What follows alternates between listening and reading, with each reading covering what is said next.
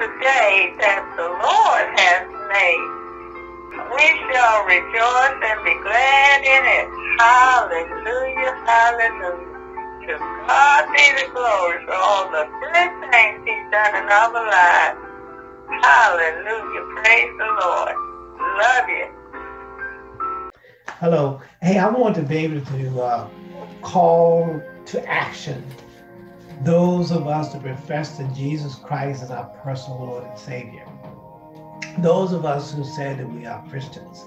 Because I think it's time for us to be reminded of who we are and who we're supposed to obey. See, I'm, I'm, I'm coming to you because I believe that with all the types of division and the, the, the, the shooting, the rioting, the protests, uh, with violence and destruction, the things ranging from police brutalities to political division within our country, that I think it's time for us to send out reminders and and make sure to remind those who preach the gospel and to the church. And you got to remember, the church is not the building, but us, those who profess and those that receive Jesus Christ as personal Lord and Savior that we're supposed to obey Jesus. Above all other things, above all the different ideologies, above all the different things that we hold as some type of uh, political uh, point of view, to include even the fact you know, we got people that that are for abortion, and there's people that are for uh, not for abortion and there's people because of the, the divide that somewhere in the translation it meant that I hold this position so dear that I will violate, violate the laws of God. Think about it.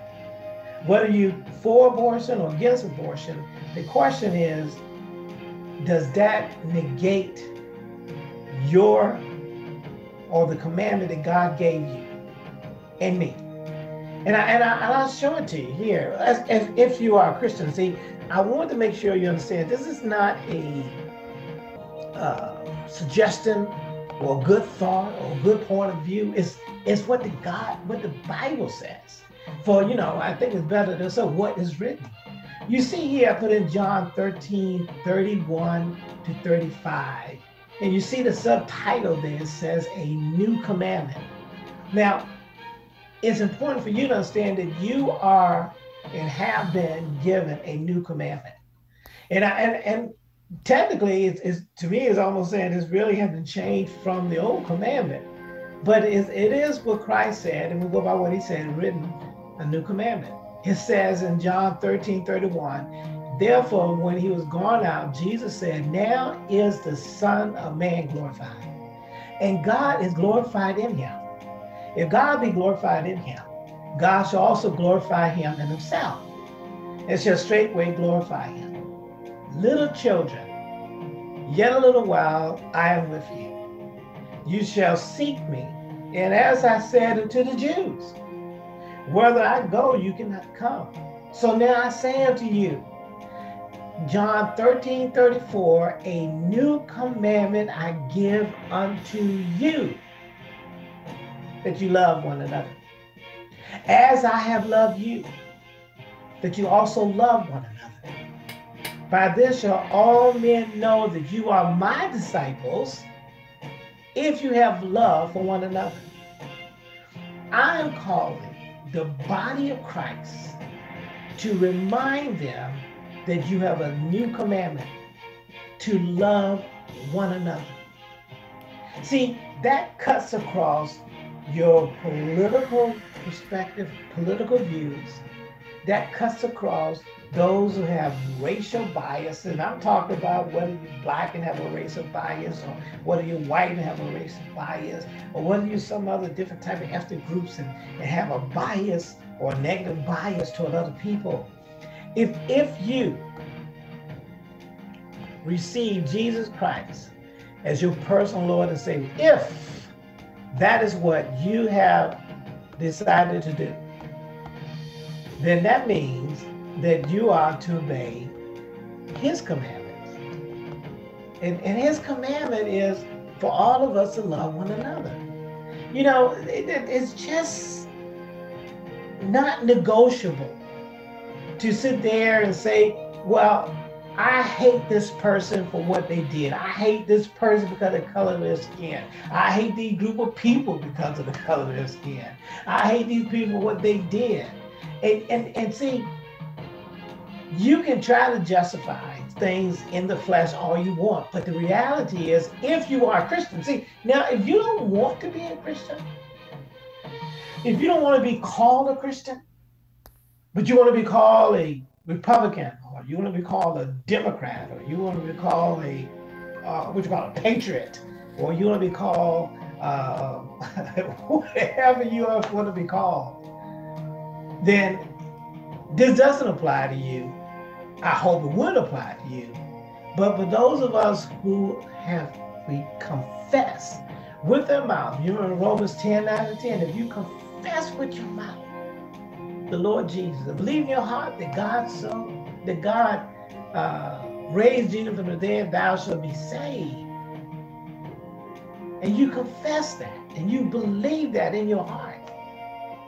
For the heart one man believes unto righteousness, the mouth confession made to salvation.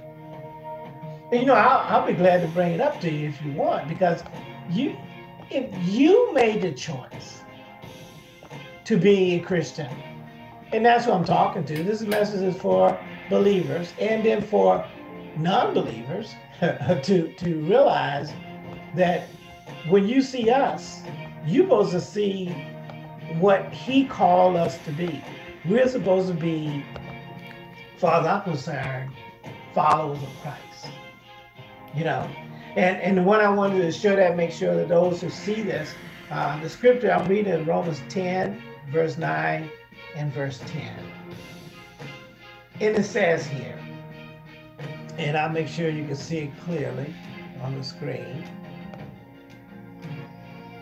It says, If thou shalt confess with thy mouth the Lord Jesus, meaning he's Lord, not a political party, not people, not your pastor, but if you confess with your mouth the Lord Jesus, and shall believe in the heart that God is raised from the dead, thou shalt be saved. For with the heart man believeth unto righteousness, and with the mouth confession is made unto salvation.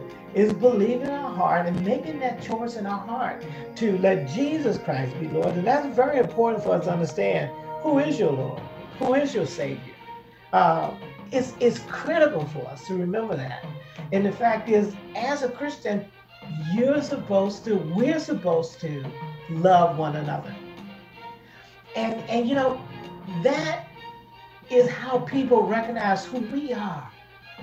And anytime we sit there and, and allow divisions based on ideology, based on uh, race or, or, or even nationality, we're not professing, we're not allowing and obeying Christ. And, and, and if you don't want to obey Christ, then that's that is your choice.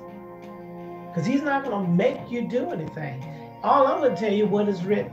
Because I know when our flesh and other people come in, and the enemy loves to come in, you know, Satan loves to come to steal, kill, and destroy. But see, Jesus came to give life and life more abundantly. And see, abundant life doesn't mean to abuse uh, your fellow man. It does not mean to, to abuse even even animals, right? Not to abuse and and and and and, and, and just be rude toward things in life. It, it means to to learn to live with one another, respect one another, love one another, because he told us to. I read that, and you read that in the scripture. And some of you, I know, and, and, and some of your teaching and some of the some of the things of even teaching of hate people brought in the concept that well it doesn't apply to everybody. Well that's not what god said because he said that we're supposed to love one another. And and he's talking about those who will be his disciples and you are a disciple of christ. And you know whether you you can deny it or not but if you know that everybody whether they're black red yellow whatever that confess that Jesus is the Lord, then they also are disciples. And as disciples, we are to love one another. And that's what we want to get down to is that learning and understanding to love one another. And, and, and, and to become more neighborly toward your fellow man. Why I said your fellow man? Because your fellow man is your neighbor. You know, I, I, one of the scriptures we recently studied, and I want to put that in there because I'm I'm coming back. I'm coming back to to this as a reminder. Uh, over, I think it should be the faith comes by hearing and hearing and hearing again. And I'm asking the body of Christ. I'm asking you to remind all of us that we're supposed to love one another. We're supposed to do and follow God, not follow man, not follow ideology. Okay, you see, you talk about you, you see in the political division where people want to sit there and say, well, he's a Democrat, so hate him. he's a Republican, yeah, so hate him.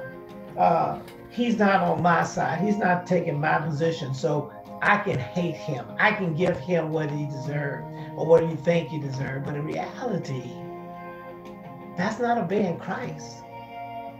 We're supposed to love one another. And that was even in the Old Testament, we're supposed to love one another. You know, I put this, I, I brought this up and I want to let you see it. So, so I won't hold you up too long. But I want you to remember this. And then we, like I said, I, I think I want to bring out a series of call to reminder.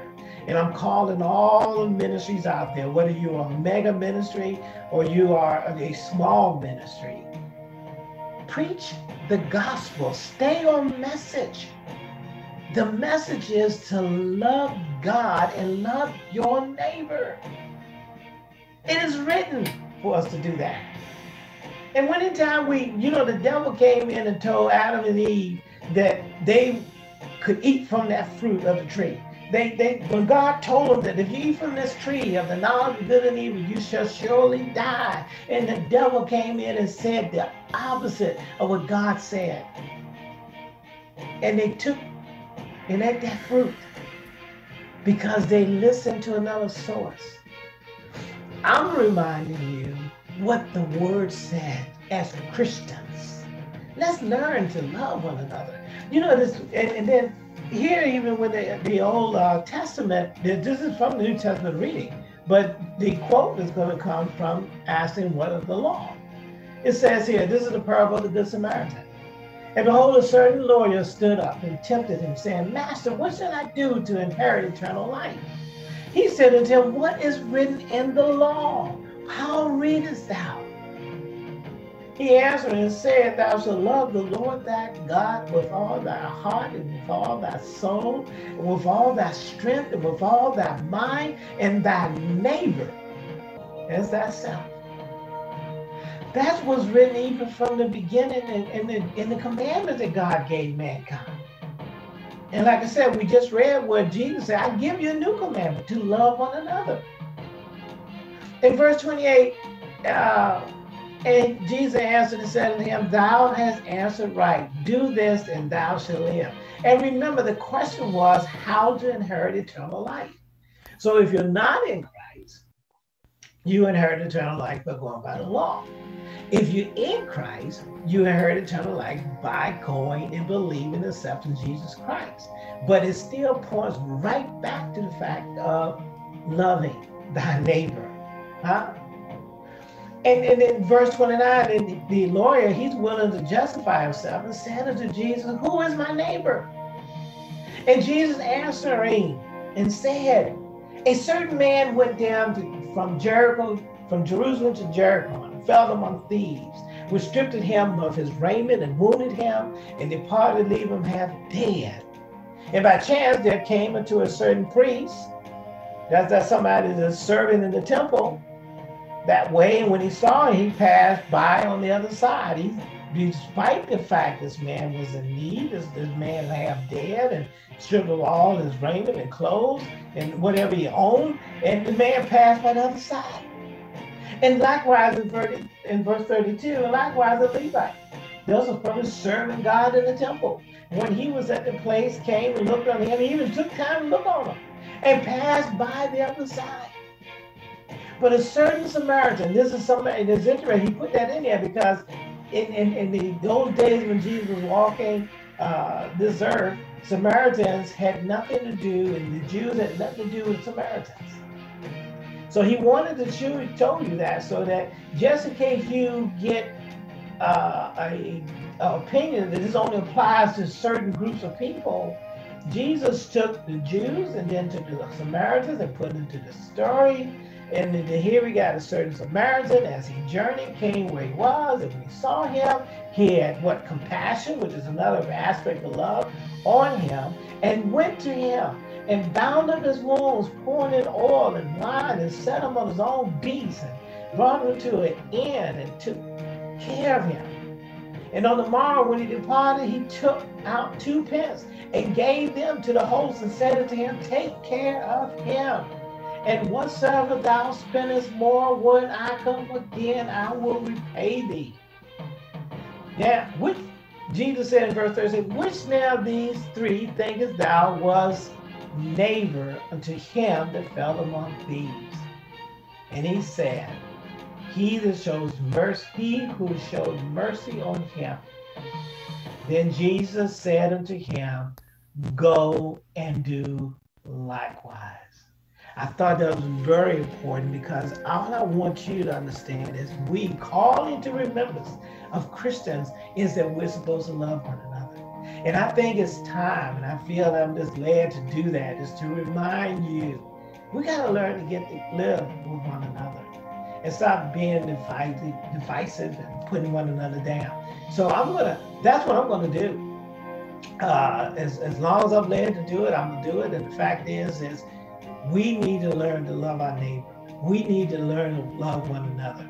People will recognize us as Christians if we learn to love one another.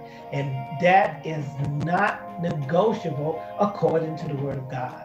So it is written, he told us, a new command I give to love one another. So let's look at that. Let's work on that. Let's remind ourselves. Let's love one another. It, it, we, we'll leave for the people that's concerned about uh, uh, bringing up the past and, and exposing the abuses and stuff as far as slavery and all that stuff. Listen, it happened. And we, I, forgive those who did what they did in the past, as well as those who create atrocities now. Because I am not going to hell for to, by hating somebody just because I don't like their lifestyle just because I don't like their past, just because I don't like, I mean, if I don't like the, what they're wearing, nor does it matter what color skin they are.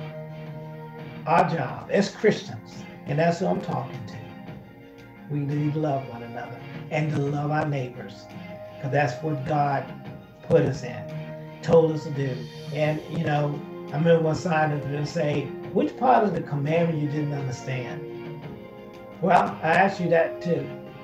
Which part of the commandment you don't understand? And you can make it find somebody to agree with you, to agree with your flesh, but you're in spirit and you are a child of God.